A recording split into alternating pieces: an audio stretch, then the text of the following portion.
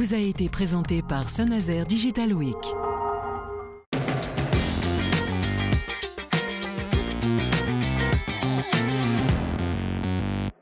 Dans Numérique cette semaine, la tapisserie devient un art numérique, le jardinage 2.0 Made in Nantes et un tout nouveau lycée à la pointe du digital. Vous n'avez pas la main verte, mais le jardinage vous démange. La box à planter est faite pour vous. Des coffrets de jardinage bio pour découvrir les secrets des légumes et des saisons. Dans la boîte mail des abonnés, des conseils réguliers pour bien jardiner au potager ou sur le balcon. La start-up nantaise séduit déjà les particuliers et les écoles du département.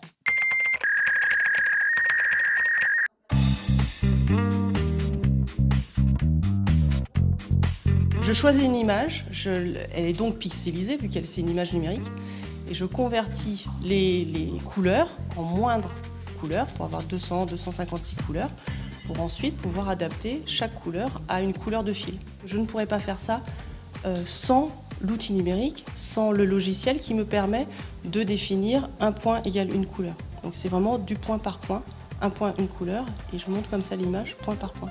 Le fait de passer sur un médium qui est un médium de tapisserie qui est d'une fabrication très lente, permet d'anoblir cette image-là et de la sortir de l'ordinateur.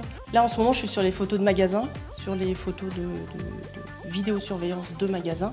Il y a des fois des, des compositions qui se font d'elles-mêmes que le magasin n'a pas choisies et qui pourtant méritent d'être vues. Et donc, c'est pour ça que je les extrais.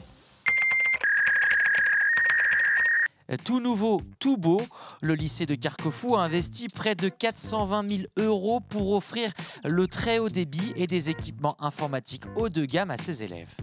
On aura euh, un, bac plus, précis euh, sciences de l'ingénieur, mais l'idée du lycée, c'est vraiment de travailler ces données euh, numériques et cette intégration des outils numériques dans l'ensemble des filières, y compris par exemple les bacs littéraires.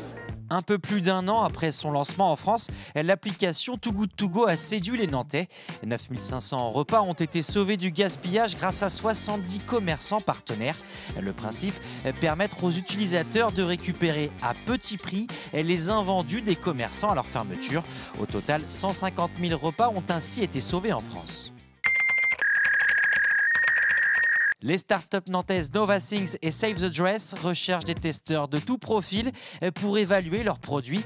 Seule condition, venir le 26 septembre avec ses propres supports informatiques.